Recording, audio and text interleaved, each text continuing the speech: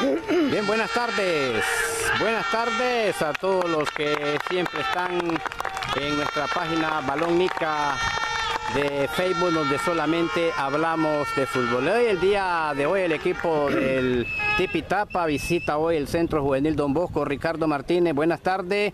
Primer partido del equipo Los Cachorros en segunda división y lo van a inaugurar los muchachos de Tipitapa, Ricardo. Buenas tardes, claro que sí, Roberto Fajardo. Antes que nada, saludos a toda la afición de Hablemos de Fútbol con Roberto Fajardo. Una fecha histórica para el equipo Cachorro, ya que hoy está debutando en el fútbol de la segunda división. Interesante porque va con un equipo muy bueno, como el equipo de Ciudadela, un equipo que está siempre armado con buenos jugadores. Así es, bien, iniciando pues los primeros eh, segundos del partido. Vamos a ver pues qué tal eh, se presenta el equipo de los cachorros que nos decía el señor eh, Valladares que lo llamaron así de romplón y no estaban preparados pues, pero ahí están los primeros momentos de este equipo de Managua que entró pues a sustituir al equipo de los chepeños de eh, La Paz Carazo nos parece y que hoy pues están debutando. Y estaremos pues nosotros siguiendo la segunda división también como parte